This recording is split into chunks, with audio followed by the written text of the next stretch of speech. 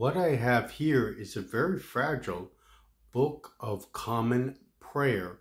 This one, as you'll see inside, not on the first page, but on the next page, this is from 1907, and that's written right there.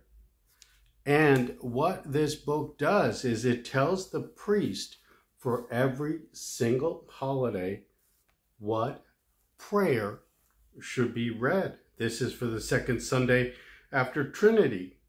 And it tells you exactly what prayer the priest should read in church. Book of Common Prayer.